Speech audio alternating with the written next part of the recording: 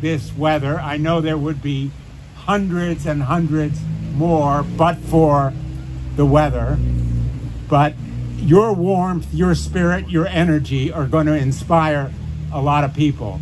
You know, there are days when I miss being Attorney General, and this is one of them because I would be doing exactly what Attorney General Tong is doing and launching this inquiry to enforce the law if there is wrongdoing in connection with this museum. Now, let me come right to the point because I don't want to keep you out in the shower for too long.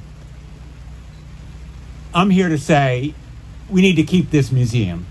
We need to keep this collection intact. We need to keep it intact here in Connecticut. It is a Connecticut treasure that should be kept in Connecticut. It should not be dispersed, divided, split up. That's what happened to the Irish people as a result of the Great Famine.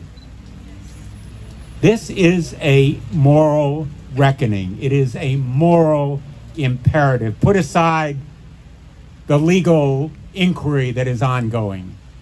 There's a moral obligation here to the people who worked hard for this museum, who contributed to it, who sacrificed to make it possible.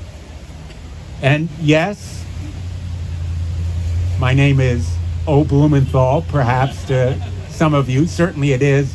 Every time I march in the New Haven St. Patrick's Day Parade, I have not missed one yet in the last 30 years.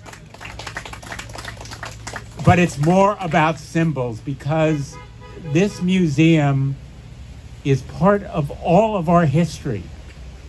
It is an Irish story, but it's an American story. One million people died in the Great Famine. Two million people left Ireland. Many of them came here. And their families, they and their families speak to us today. They speak to us about refugees, about food insecurity, about the issues of today. This museum is not just history, it is a living piece of all of us.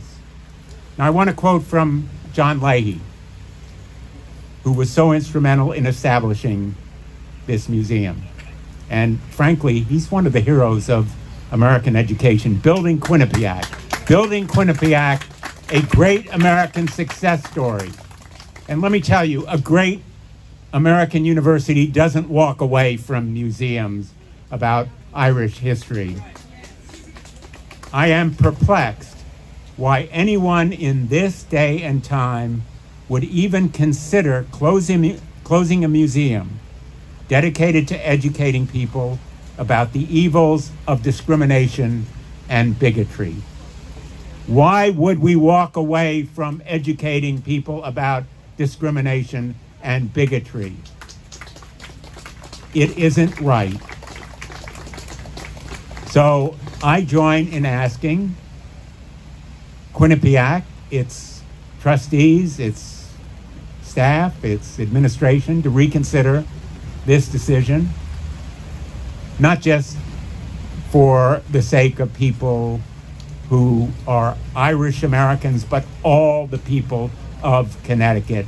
Keep this museum in Connecticut, keep the collection intact, keep it here in Connecticut. Thank you for being here today and showing us what is important about America, what's important about America. Thank you all.